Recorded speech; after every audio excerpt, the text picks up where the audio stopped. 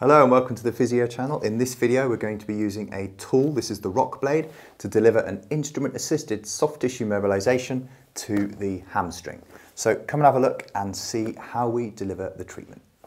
So usually when you're going over the hamstring area, the tool may not glide over the skin unless you put some emollient on there. I recommend you use a wax rather than an oil because that will still allow the tool to glide slowly and therefore you've got a better chance of getting more purchase through and underneath the skin. If you use oil, it's of course very slippery and therefore the tool is likely to glide up the skin so quickly that you're unable to get as much pressure and purchase and friction and um, shearing force through the tissues. So a bit of wax over there, we generally don't need that much. And then holding the tool, I'm going to hold it in the other hand so you guys can see a bit clearer. Pass over the back of the knee without too much pressure because it's quite sinewy there and not very muscular. Then as we start to get into more of the muscle bulk of the hamstring, we can apply a little bit more pressure. It does depend with your patient on how muscular they are and also how sensitive they are, which may of course be related to training and injury status. Otherwise, a light to moderate pressure. The tool angle here is about 45 degrees and I'm moving up over the back of the leg slowly so that I don't overstimulate the nervous system, which can occur if we try and move too quickly. That can often be uncomfortable, painful, and uh, cause more of a stimulation of the area rather than a relaxation and a downregulation of muscle tone.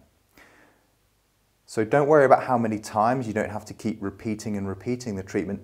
It's more a case of going through the hamstring musculature, going over the back of the leg slowly but with good effect. And then perhaps doing it two or three times and you'll usually get excellent results within just two or three repetitions. So IASTM can be a very efficient way of delivering soft tissue treatment.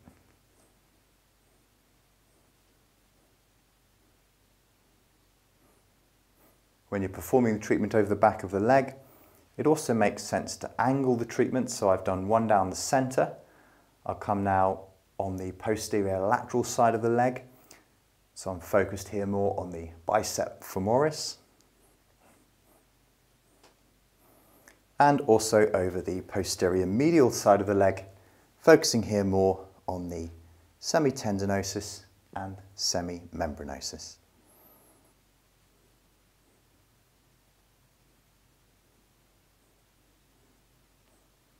For this treatment, I used the broader side of the tool, which would be this side, or I could have also used this side, whichever I felt was the most comfortable for the patient.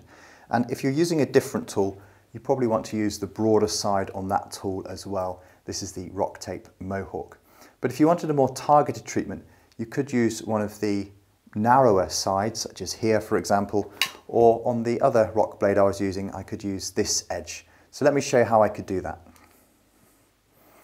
In this case, I'm going to hold the tool differently with one hand and put my fingers in the indents there so I've got control of the tool and I can deliver what might feel like a more focused and precision treatment.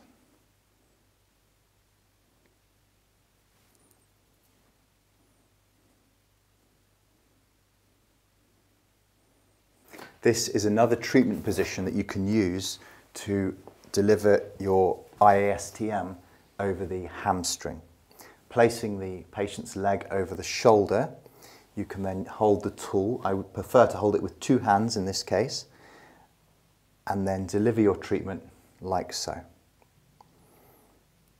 Naturally, with the patient's leg in this position, it does feel a little bit more sinewy. By that I mean a bit bumpy and less smooth as you pass through the hamstring.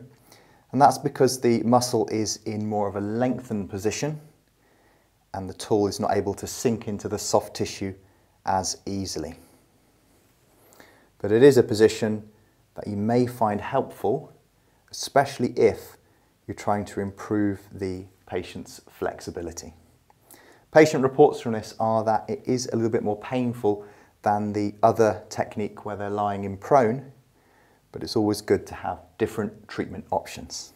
Okay, that's it for this video on using tools to treat the hamstring with instrument-assisted soft tissue mobilization techniques. We used a couple of different RockBlade tools in this video and I'll put some links about those in the description below.